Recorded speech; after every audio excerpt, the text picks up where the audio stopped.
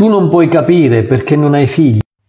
Ecco un'altra cavolata che viene detta da quelle persone che non sono capaci di confronto.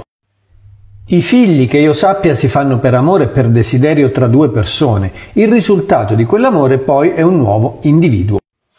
Personalmente in dieci anni sono passato da dovete fare i figli perché è la cosa più bella del mondo a beati voi che non avete figli.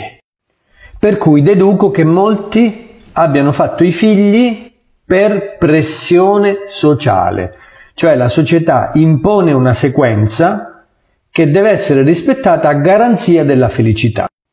È chiaro che l'opposto di logica si chiama vita, per cui tutte le volte che ti affidi a una sequenza stabilita da qualcun altro che non è tua personale e che la maggior parte della gente esegue, vuol dire che non stai ragionando con la tua testa e quindi sei destinato all'insoddisfazione.